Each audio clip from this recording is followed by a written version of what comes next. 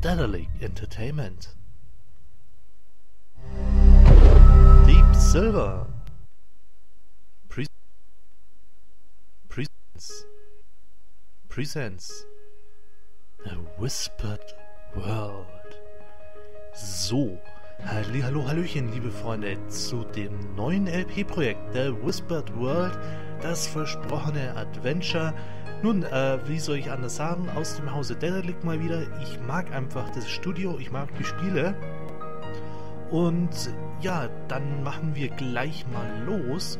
Und ach ja, noch eine ganz kurze Anmerkung. Ich spiele das hier komplett blind.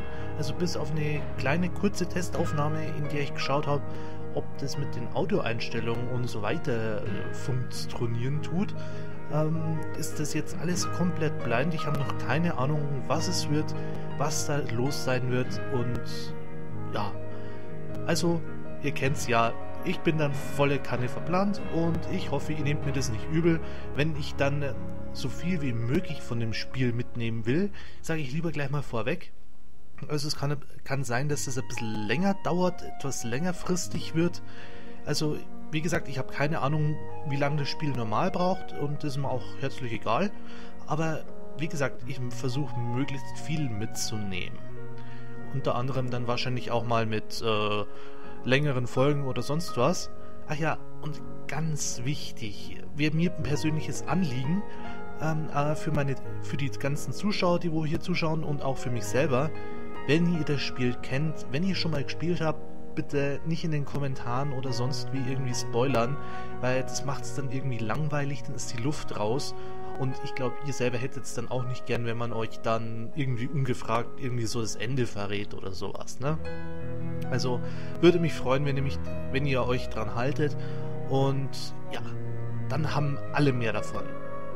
So, nichtsdestotrotz fange ich jetzt ein neues Spiel Los geht's. Es wird dich vielleicht traurig machen, das zu hören, aber dies hier wird die letzte Geschichte sein, die ich dir erzähle. Ich weiß, du hörst gerne lustige Geschichten mit fröhlichen Menschen und einem Happy End, aber ich habe keine Kraft mehr dafür. Was ändert es, wenn ich dich belüge? Meine letzte Geschichte also spielt in einem fernen Land, das im Begriff ist zu sterben. Sie beginnt im Herbstwald.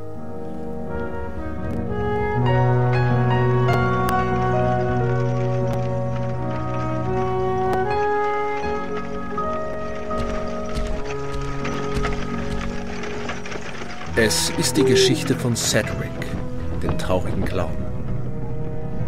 Cedric schläft unruhig, wie jede Nacht. Dabei weiß er noch gar nicht, dass er innerhalb von wenigen Tagen die Welt zerstören wird.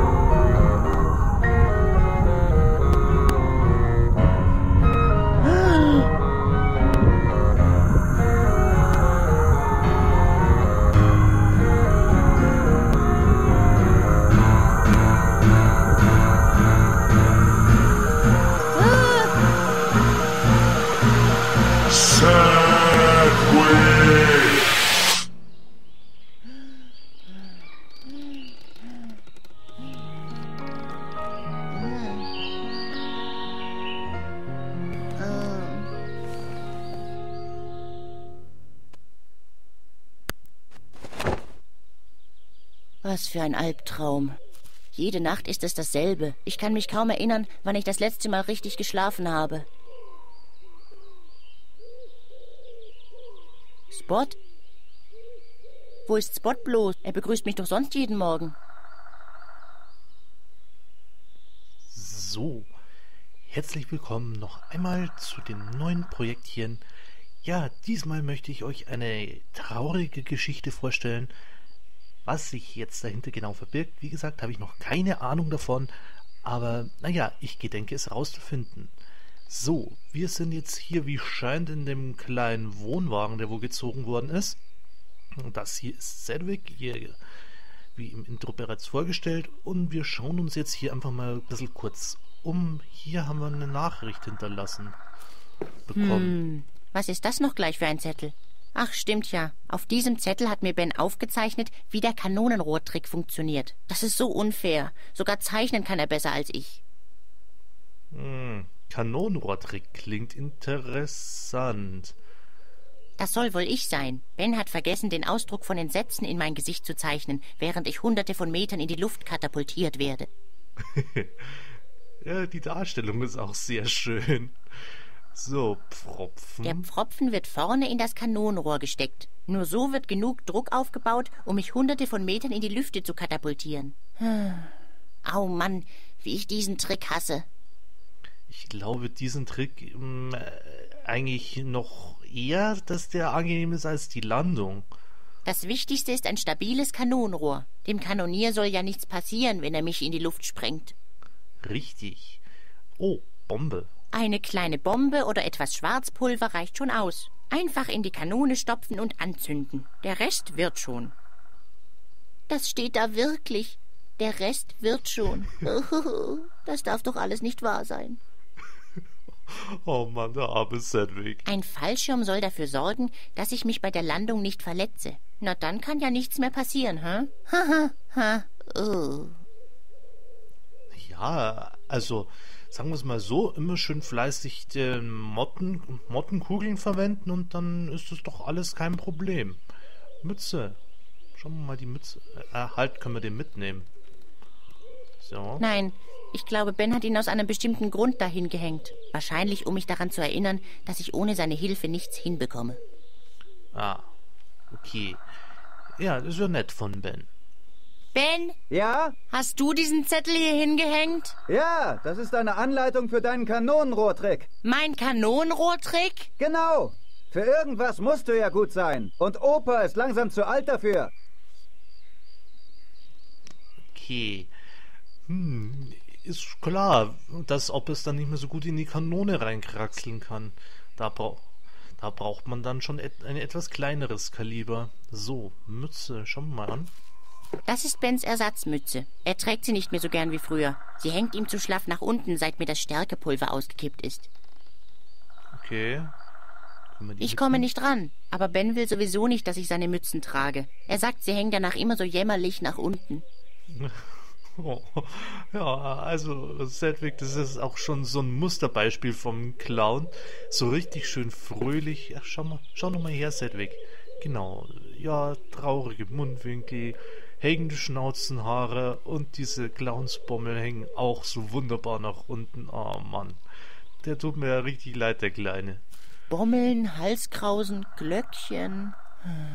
In einem Kartoffelsack würde ich mich weniger schämen. Hm, ich komme an. nicht ran. So ein Pech. Schön. Bommeln, Halskrausen, Glöckchen. In einem Kartoffelsack würde ich mich weniger schämen. Ja, aber ein bisschen daran überhaupt zum Zirkus gegangen oder wurdest du da einfach reingeboren? Unsere Zirkuskleidung ist spuckeabweisend. Das ist sehr wichtig, gerade wenn man in größeren Städten auftritt. Mhm, Glaube ich dir gerne. Und ist die auch tomatenabweisend? Weil, naja. Wäsche. Bommeln ah. in einem Kartoffel. Immer noch das gleiche Prozedere? Bärenkopf. Schicker Bettvorleger. Dieser Teppich erinnert mich an einen der grundlegendsten Mechanismen unseres Lebens. Ganz egal, was du erreicht hast, egal wie groß deine Pranken und wie scharf deine Zähne sind, du kannst immer noch als Fußabtreter für eine Gruppe Zirkusclowns enden. Ah. Schön. Ähm, hallo? Bist du wirklich tot? Nein. Oder schläfst du nur? Ja. Man kann sich da gar nicht sicher genug sein. Oh. Okay ich wollte ihn jetzt eigentlich nur kraulen, aber naja. Schlüssel?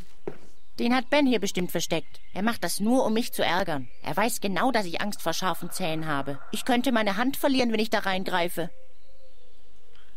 Dann lass ihn doch Ben rausholen. Bleib, wo du bist. Ich rette dich. Oder hole Hilfe. Ach Mann, was bin ich nur für ein elender Angsthase. Oh Mann. Ah! Puh, ganz schön knapp. Das wird mir Ben büßen. Ich hätte dabei draufgehen können. oje, oje, oje. Aber, ah, das, das ist schön, einfach das Charakterdesign. Also, ich hab's ja bei Rufus schon gefeiert, bei Deponia. Äh, dieser, ja, ja, das sympathische, ja, ja, Egel möchte man ja fast sagen. Und jetzt dieser, diese traurige Gestalt hier, das ist einfach herrlich. Und diese Humorart, super. Ich habe mal eine Liste mit meinen wahrscheinlichsten Todesarten begonnen. Die Bärenkralle ist auf Platz 212, 217 und 321 bis 29. Hm. Wie viel, äh, auf wie viele Arten kann man von einer Bärenkralle sterben? Ist doch alles klar. Ich kaue nur meine eigenen Fingernägel. Hm, beim Kanonenrohrtrick. Neu, der knabberte Clown in der Kanone. Huch. Ähm. Ähm. Ich habe mal eine Liste mit meinen Wattibären. Okay, äh, ich wusste gar nicht, dass man die einstecken kann. Na, Dieser Teppich erinnert mich an eine, ganz egal was du erreicht hast, egal wie groß, du kannst immer noch als Fußabtreter für eine Gruppe Zirkusclowns enden. Okay. Ah. Die Zirkusclown-Truppe, die haben wir schon abgefrühstückt. Kerze, ui. Schauen wir mal an. Ben sagt, diese Sorte Kerzen brennt ewig. Ich sage, sie macht sich nur was vor. Oh, arme kleine Kerze. Können wir mit dir reden? Kleine Flamme der Hoffnung. Wofür kämpfst du so tapfer? Am Ende wirst auch du erlöschen. Ah, ah Sedwick. Also, ich, ich glaube, das Adventure wird mich jetzt echt vor ein Problem stellen, Leute. Also, außerhalb der Rätsel. Weil eigentlich, wenn man so diese ganzen Kommentare und so weiter hört, ist es ja doch irgendwo lustig. Aber wenn man halt so die generelle Stimmung mitkriegt, ist einem gar nicht nach Lachen. Und das ist so schwer. Also, aber wenigstens glaube ich, dass ihr da keine zerlachten Zwischensequenzen oder so mehr von mir zu hören bekommt. Und deswegen, naja, hat es wenigstens etwas Gutes. Es ist deprimierend. Ich habe kaum eigene Sachen. Sie passen alle in diese Schublade. No. Ich habe eine Abmachung mit Ben. Er spuckt mir nicht mehr in meine Schublade und ich male seine Gumminase nicht mehr schwarz an. Ist doch schön. Na, schauen wir mal, was wir denn da alles so drinnen rumfliegen haben. Da ist nur dieser blöde Merkzettel drin. Ben hat mir diktiert, was meine Aufgaben sind. Pure Schikane. Hm. Was soll's? Ich nehme den Zettel trotzdem mal mit. Vielleicht finde ich ja irgendwo ein Buschfeuer oder so. so, können wir da noch was? Pendel? Nee, können wir nur wieder zumachen. Okay. Ah, Zettel. Schon ben hat mir für heute wieder eine Menge Aufgaben zugedacht. Warum bin ich überhaupt aufgestanden? 5 Uhr. Aufstehen. 5.30 Uhr. Probenbeginn bei Sonnenaufgang. 7 Uhr. Spot füttern. Also wer oder was Spot auch immer ist. 37 Publikum suchen. 10 Uhr Kanonenrohrtrickproben. 12.15 Uhr Bruno waschen, 16.30 Uhr Wohnwagen aufräumen. Heide Witzka, wie lang brauchten wir, um den Bruno zu waschen? Ich nehme mal an, das war das Zugtierchen äh, aus der Videosequenz. Äh, Wohnwagen aufräumen, boah. Also das ist ja auch relativ viel äh, Zeit. Halt, nein, verdammt. Ich habe dann bloß noch gesehen, R Rülpsalphabet üben. Proben, Entschuldigung, schlafen gehen, 21.30 Okay. Naja, das ist äh, schön. Nein, ich wollte eigentlich die Kerze. Nehmen wir mal mit. Autsch, verflucht, ah. das gibt bestimmt eine Brandblase. Warum bin ich nur immer so ungeschickt? Äh, Kerze vorher vielleicht ausblasen, bevor man sie mitnimmt? Weil sonst fackelt ihr doch dein Inventar ab. Ein knappes Dutzend zusammengenagelter Bretter hängen hier an zwei schlecht verschraubten Scharnieren. Sie schützen mich vor wilden Bestien, Mördern und allen anderen Gefahren, die das Leben in freier Wildbahn bereithält. O süße Illusion. Kein Kommentar. Ben, bist du da draußen? Ob ich hier draußen bin, ist das zu fassen. Hockt die ganze Zeit im Wohnwagen und fragt mich, ob ich hier draußen bin. Hast du keine Aufgaben zu erledigen oder was? Ist ja schon gut. Ich komm ja schon. Eieieiei. So. Dann wollen wir mal. Weg! Komm sofort her! Es ist schon helllichter Tag. Genau. Ein weiterer fröhlicher Tag in der bunten Welt des Z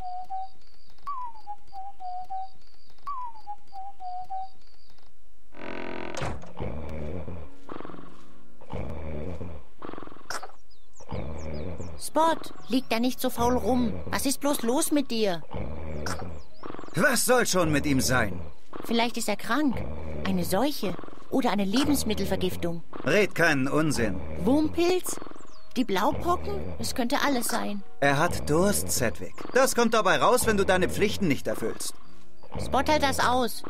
Er ist robust. Du wirst dich noch ganz schön umgucken. Raupen werden nicht alt. Und wenn man so mit ihnen umspringt, erst recht nicht. Gewöhn dich ruhig schon mal an den Gedanken. Du willst mich doch nur ärgern. Ich meine es ernst. Gib ihm besser was zu trinken. Ja, was auch immer, Ben. Los, komm mit, Spot. Wir finden dir was zu trinken. Und danach können wir vielleicht endlich was Sinnvolles tun. Oh, okay. Können wir jetzt steuern. Schauen wir uns Spot mal an. Spot wirkt ein wenig hungrig. Komm, wir reden mal mit ihm. Komm, Spot, ich will hier weg. Lass uns ein wenig im Herbstwald umsehen, ja? Schleicht ihr jetzt eigentlich mit? Nee. Spot Genau. wirkt ein wenig hungrig. Dann äh, suchen wir ihn doch. Oh, was ist man hier? Das Wasser sieht ausgesprochen trübe aus. Halt nein, das ist nur mein Spiegelbild. Ich bin nicht durstig, zumindest nicht genug, um davon zu trinken. Darin wurde immerhin Opas Hose gewaschen. Mm, njam, njam. Ich wasche meine Hände später. Irgendwie habe ich die Vermutung, dass ich sie mir heute noch öfter schmutzig machen muss. Okay, so. Können wir es. Huch. Ach, davon kommen die Schnarchgeräusche. Ich dachte, die kommen von Oppes da. Zugtier. Schau mal, Frieden. Können wir den.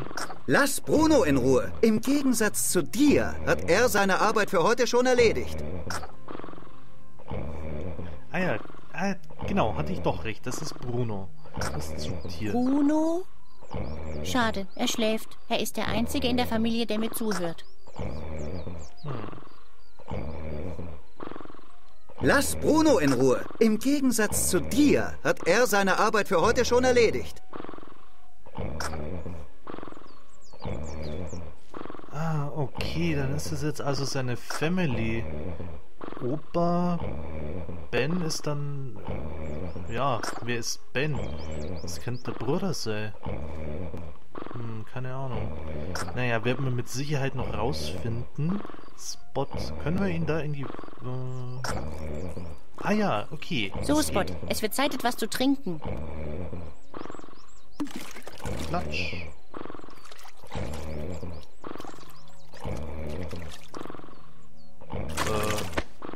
Huch. Mahlzeit. Äh. okay. Alles klar. Ähm. So, wir haben jetzt einen kugelrunden Wurm, Raupe, was auch immer dabei. Ja. Hm. Reden wir doch mal mit Ben. Das ist mein Bruder Ben. Ich werde nie so gut jonglieren können wie er. Das sagt er mir bei jeder Gelegenheit. Ah, also doch der Bruder. So, reden wir mal mit ihm. Hallo Ben. Hallo Schlafmütze. Wie oft muss ich dir eigentlich noch sagen, dass die Proben bei Sonnenaufgang beginnen? Ich kann nichts dafür. Ich habe so schlecht geschlafen. Schlecht geschlafen? Was soll das heißen? Doch nicht schon wieder diese Albträume. Das sind keine gewöhnlichen Albträume. Es wirkt alles so echt. Das Beben. Die zerklüfteten Felsen. Himmel, Sedwick. Jetzt reiß dich mal zusammen. Du bist ein Clown, ein Gaukler. Du sollst die Leute fröhlich machen und nicht deprimieren. Ja, wann ist denn unser nächster Auftritt? Wann ist unser nächster Auftritt? Ach, wer weiß. Dieser Landstrich ist genauso leergefegt wie die letzten, durch die wir gezogen sind. Die Menschen verlassen das Land. Sie haben Angst vor dem Ende. Welches Ende? Hä? Wo, wovon redet der? Kann ich jemand anders den Clown spielen? Kann ich jemand anderes den Clown spielen? Und was willst du dann machen? Eine Löwendressurnummer? Sieh es ein, Sedwick. Du bist einfach nicht talentiert genug für die wichtigen Nummern. Du kannst nicht jonglieren, du kannst keine Torten werfen. Nicht einmal deinen Trick mit dem Kanonenschuss beherrschst du. Vielleicht habe ich auch einfach keine Lust auf hupende Nasen.